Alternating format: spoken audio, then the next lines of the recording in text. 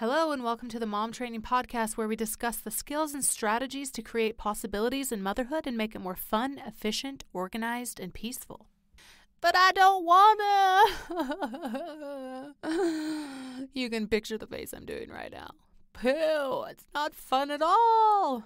You know, that self discipline thing the love hate relationship to success and freedom. Mm-hmm. Yeah. Yeah, we're going to talk about that today and how we can increase our self discipline as a mom and maybe even learn to like it. Yep, I said it. You're going to like it. According to Google's dictionary, the definition of self discipline is the ability to control one's feelings and overcome one's weaknesses, or the ability to pursue what one thinks is right despite temptations to abandon it. Ooh, there's so much juiciness here. So, what feelings do we need to control and what weaknesses to overcome? Hmm. Okay. I want you to notice in your day what you feel or the weaknesses you experience. Are they controlled? Do you feel you have a handle on them?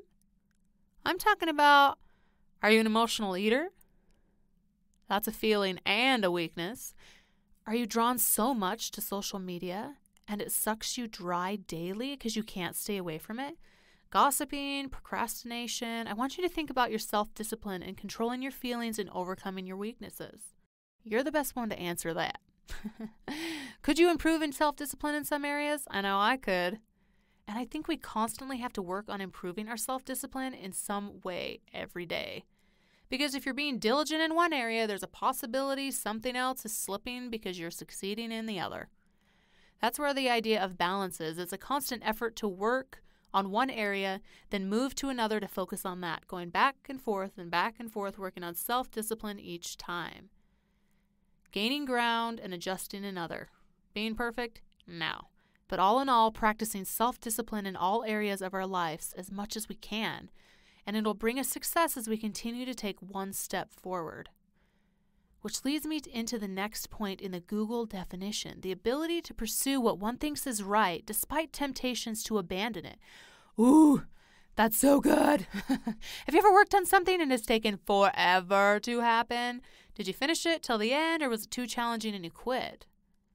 I feel that anything worthwhile is going to stretch you till it stings and takes a lot of work, sacrifice, and self discipline. Success comes with the temptation to quit. I heard that from one of my mentors that the temptation to quit is for everyone, but it's the people who choose to push through that feeling are the ones to succeed. So if you have thought you were broken or something by how many times you've wanted to give up on accomplishing something, you're normal. Congratulations. Glad about that because, man, the struggle is real when you're working hard for something. Getting yourself in a routine is definitely a way to help you be consistent with your goals and have self discipline even when you don't feel like it and want to throw in the towel. So, when you have something you want, do you continue to pursue it despite the temptation to abandon it? If you've given up in the past, you don't always have to choose that path. Success could be just around the corner for you if you keep moving. If others can accomplish what they want and succeed, so can you. So, self discipline, you jolly old soul, why are you so important?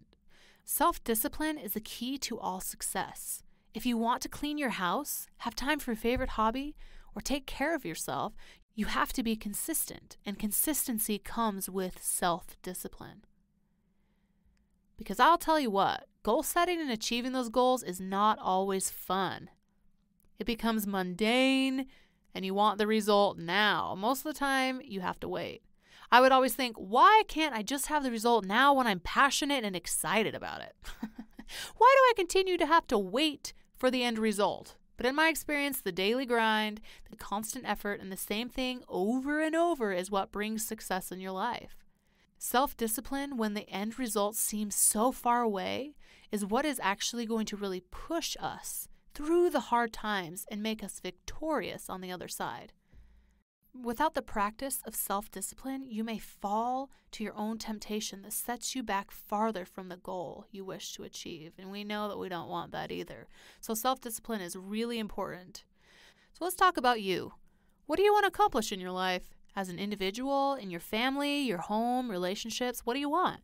If you knew you couldn't fail, how would you design your life? Now, I want you to think about what areas you need more self discipline to accomplish these goals. I'm sure something comes to mind of, yeah, I should work on that, or yeah, this is a habit I need to protect myself from with more self discipline.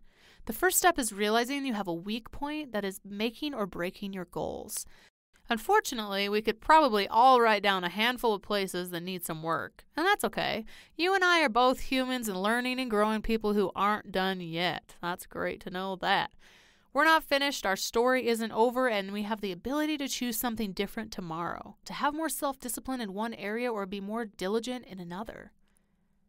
The first step is not giving up on yourself or your future. If you're listening now, I believe there is something amazingly beautiful in your life to accomplish. And I love the thought that each person here listening now is completely different. Your contribution to the world is special and specifically planned for you. We need you, who you are, and who you will become in the future. What is that one area that you've always wanted to improve in or need to improve that keeps coming up for you? So, this is what I want you to do. I'm going to give you a couple seconds to think about one area. One, you overachievers. that you could improve in self discipline. This week, I want you to create a simple plan of how you are going to have more self discipline and to really focus on this one area. It could be really simple, like I'm not going to get on social media after 8 p.m. so I can wind down and get to bed early. Or I'm not going to eat anything after dinner. I'm going to drink more water. I'm going to be present when another person is in my presence, including my children. You get it? Create a simple plan, try it out for a week, and see how you feel the next time we chat. I bet you'll feel a lot better about your progress towards the goal you've been dying to accomplish. As a mom, I know it's challenging to set goals sometimes when we are pulled in so many directions, but that doesn't mean we should stop working towards things and setting those goals. It just means we need to step up our game, learn to be resilient and adaptable, and up our self discipline to create the time, energy, and resources needed to succeed and be the rock star we've always dreamed of, in whatever way that means for you. The struggle is part of the process. It is worth it to continue forward and succeed. So, girl, get out there and get it done. I know you can. As a listener of the Mom Training Podcast, you are a special breed and are 100% capable of achieving the life you desire as a mom, with a family, and as a beautiful woman. Super proud of you. I'd love to hear what you're working on this week. Head over to Instagram and Facebook at Diana Ballard Live. That's at Diana Ballard, L I V E, and let me know what you're doing to be one step closer to the life you've dreamed of through self discipline. Hit the subscribe button and tell your mama friends about this podcast. Hope you have a great week, and we'll see you next Tuesday on the Mom Training Podcast.